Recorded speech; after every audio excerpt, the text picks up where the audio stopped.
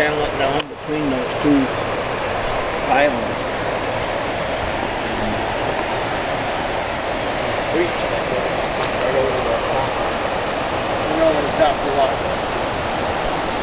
Oh, see where that black thing is? Yeah.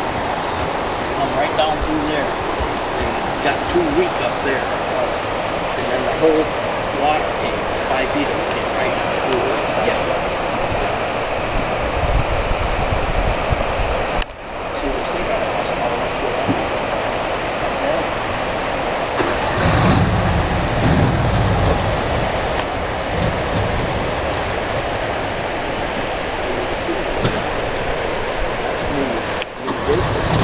There's the ones responsible for killing all the trout.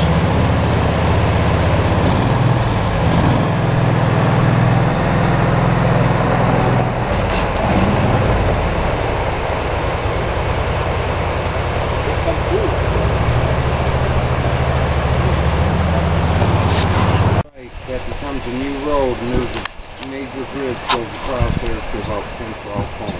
Yeah, yeah. And it was right up to the bottom and it was touching the bottom, but it was not going over the bridge. Wow.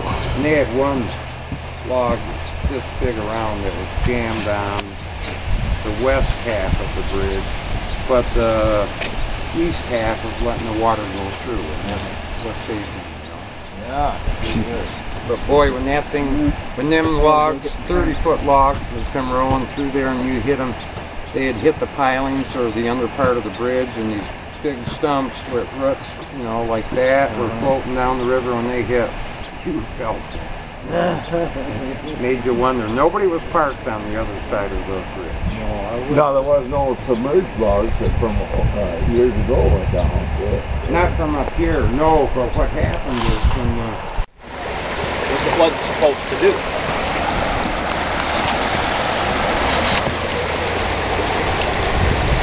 It might, it might make it better.